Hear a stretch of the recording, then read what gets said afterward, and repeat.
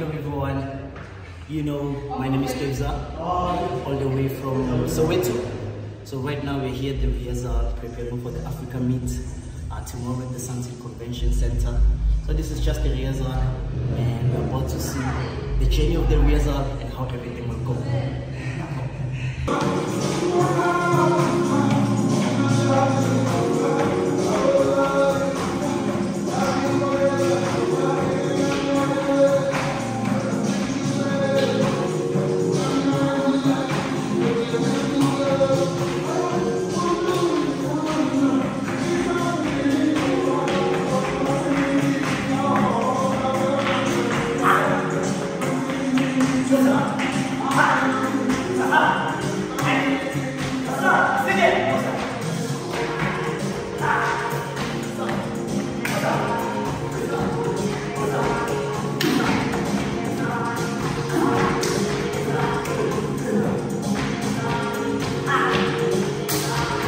7